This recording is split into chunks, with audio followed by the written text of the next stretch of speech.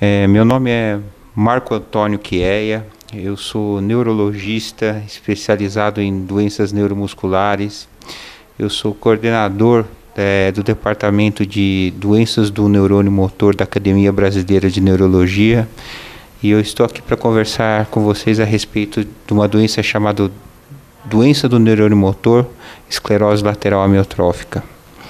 Tudo que acomete o, a parte motora do sistema nervoso, que leva à degeneração do sistema da parte motora do sistema nervoso, nós chamamos de doença do neurônio motor. É, dentre elas, dentre, dentre as doenças, dentre essas doenças degenerativas, a mais comum é a esclerose lateral amiotrófica.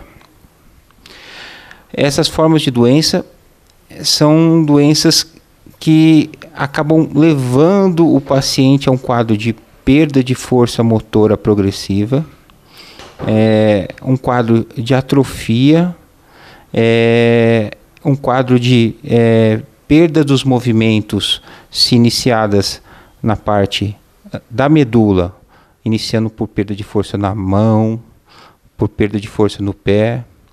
A esclerose lateral amiotrófica tem um, um prognóstico, que é um prognóstico mediano, que você tem uma estatística que na verdade é a média dos pacientes que têm a esclerose lateral amiotrófica, que na verdade é um prognóstico sombrio.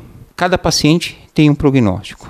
Nós temos uma média de sobrevida, que é de 3 a 5 anos, em todos os pacientes. Isso ocorre por quê? Por falência da musculatura respiratória, na maioria das vezes. Que ocorre, essa falência ocorre pela inabilidade dos músculos respiratórios se expandirem e o paciente acaba evoluindo para quadros de pneumonia aspirativa e, consequentemente, a óbito. O neurônio motor é o principal neurônio do corpo humano. É o maior neurônio do corpo humano.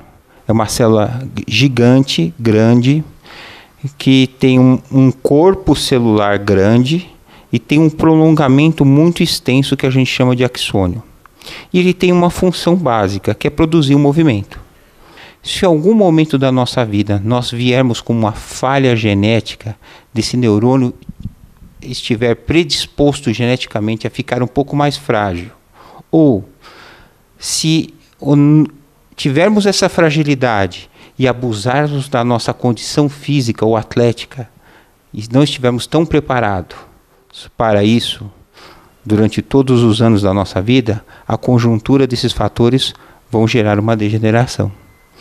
Então, parece que nós temos uma conjunção de fatores de uma predisposição individual versus um excesso de atividades físicas ou um excesso de até de é, exposição ambiental. Se, se alega até que pode se hoje estão se pesquisando até uma a presença de algas azuis é, em estuários, em ambientes aquáticos, o excesso de poluentes em reação com o óxido, o óxido nítrico das mitocôndrias neuronais.